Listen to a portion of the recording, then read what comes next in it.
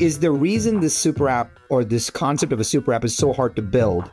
Is it because we don't have a sense of what that North Star is?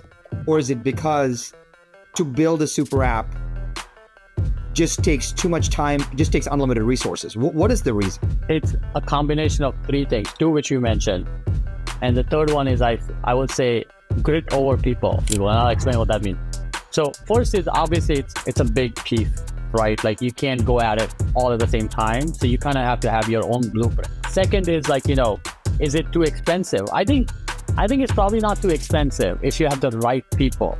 I think most companies struggle with this invisible thing. People are transiting. They are not going from point A to point B. They're like, if a train is leaving from point A to point B, they're getting on and off the train along the way.